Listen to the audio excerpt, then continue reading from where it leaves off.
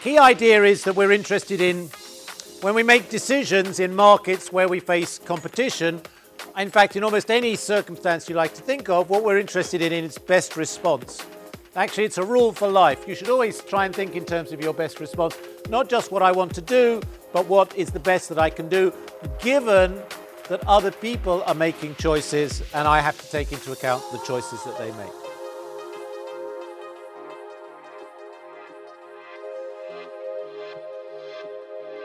Equilibrium is the most important concept of economics. So the idea that an equilibrium is where everybody is simultaneously at a best response, and that's where economists believe markets will, will tend towards.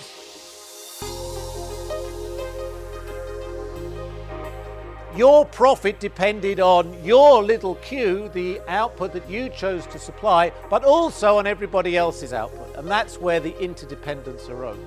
And that's where that was the difficult part of the problem was figuring out what these all these other little Qs were going to be.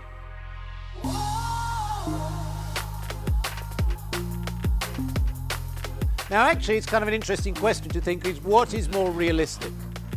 Is it realistic to think that firms in an industry have the same marginal cost or that they have different marginal costs? Do you think the same? Do you think different? Okay?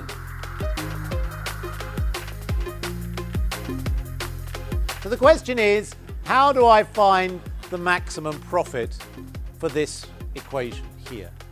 Well, of course, that's uh, uh, mathematically, that's relatively simple to work out.